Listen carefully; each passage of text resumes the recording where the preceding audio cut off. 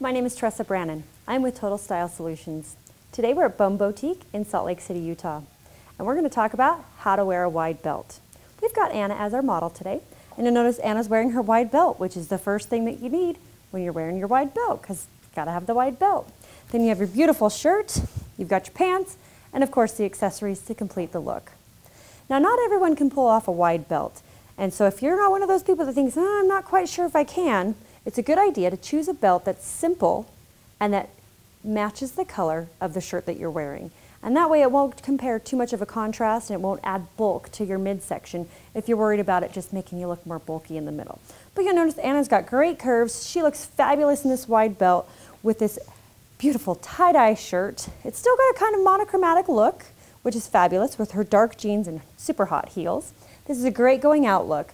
She's got her accessories on to complete the look and pull the black from her shoes, her belt, her accessories, and it just keeps the eyes flowing and looks fabulous.